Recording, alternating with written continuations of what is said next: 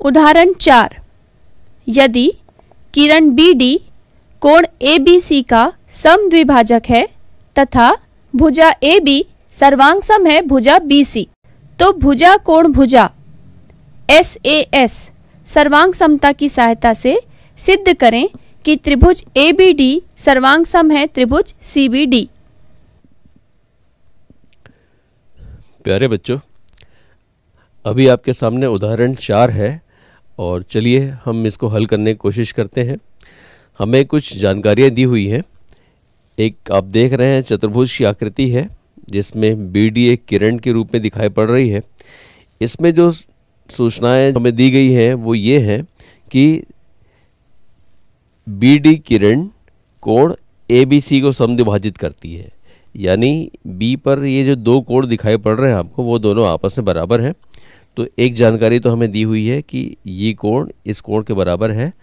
कोण A B D बराबर कोण सी बी डी एक सूचना हमें दी हुई है। और दूसरी चीज़ दी हुई है कि बी ए और बी सी बराबर है। ये भुजा बी ए और बी सी आपस में बराबर है। ये दो बातें हमें दी हुई हैं। और इसके आधार पर हमें प्रूफ करना है, सिद्ध करना है कि इस किरण को खींचने से जो दो त्रिभुज बन रहे हैं, त्रिभुज ए बी डी और त्रिभुज डी ये दोनों त्रिभुज सर्वांग सम है, ये हमें प्रूफ करना है, प्रमाणित करना है। तो चलिए शुरू करते हैं। जो जानकारियाँ हमारे पास हैं, उनको हम पहले लिख लें। कि त्रिभुज ए बी डी और त्रिभुज सी बी डी में हम बात करने जा रहे हैं तो इसे ऐसे लिखें। त्रिभुज ए बी डी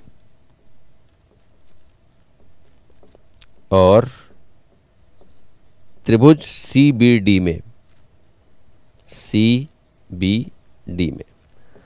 आप क्रम का ध्यान रखिएगा। हम ए से शुरू कर रहे हैं ए बी डी कह रहे हैं और वैसे ही सी से शुरू करके सी बी डी कह रहे हैं। इसे आप भले ही किसी और नाम से पुकार सकते हैं, लेकिन जब हम सर्वांग समता की बात करते हैं तो हमें ये ध्यान रखना पड़ता है कि कौन कौन सी चीज़ें सर्वांग सम, उसी क्रम में हम बात करें। तो पहली जो जानकारी जो मिली हुई है, वो ये है कि बी पर बनने वाले दो कोण। तो पहले त्रिभुज का कोण ए बी डी कोण ए बी डी बराबर है दूसरे त्रिभुज के कोण सी बी डी के। तो इसे हम लिखें कोण सी बी डी ये सूचना हमें दी गई थी और एक जानकारी और भी है हमारे पास कि पहले त्रिभुज की भुजा बी ए दूसरे त्रिभुज की भुजा बी सी के बराबर है। हम इसे लिखें बी ए बराबर बी सी अब यदि हमको इन दोनों त्रिभुजों का सर्वांग सम सिद्ध करना है तो कम से कम एक भुजा हमें और चाहिए जो दोनों त्रिभुजों में बराबर हो। आप ध्यान से देखिए, आपको दिखाई पड़ रहा है जो भुजा बी डी है, वो दोनों त्रिभुजों में मौजूद है और इस कारण हम कह सकते हैं कि बी डी दोनों त्रिभुजों की उभयनिष्ठ भुजा है और हम लिख सकते हैं कि भुजा बी डी बराबर भुजा बी डी एक बार पहले त्रिभुज के लिए और एक बार दूसरे त्रिभुज के लिए। इन तीन शर्तों के आधार पर आप देख रहे हैं कि पहले त्रिभुज की दो भुजाएँ और उनके बीच का कोण, दूसरे त्रिभुज की दो भुजाओं और उनके बीच के कोण के बराबर है। और इस आधार पर आप कह सकते हैं कि दोनों त्रिभुज त्रिभुज ए बी डी और त्रिभुज सी बी डी सर्वांग सम है। इसे हम लिख लें। त्रिभुज ए बी डी सर्वांग सम है त्रिभुज सी बी डी के।